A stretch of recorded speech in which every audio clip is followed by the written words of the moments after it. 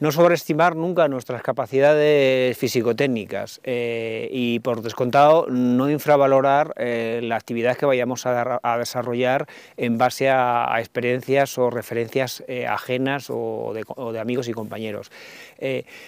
planifiquemos la actividad de una forma correcta y adecuada. Eh, equipémonos adecuadamente a la actividad que vayamos a desarrollar, eh, teniendo en cuenta eh, que estamos en época invernal y las condiciones de luz implican que la duración de la actividad está íntimamente relacionada con, con la misma. No nos fiemos de los soportes técnicos, entiéndase eh, GPS o telefonía móvil eh, desde el punto de vista de que son elementos que debemos de dominar y saber las características y las aplicaciones que nos pueden eh, reportar en casos de que surja un problema y no desarrollar mm, nunca, bajo ningún concepto, actividades en solitario ¿eh? desde el punto de vista de que surgido el incidente eh, no va a poder apoyarnos eh, nadie en ese sentido.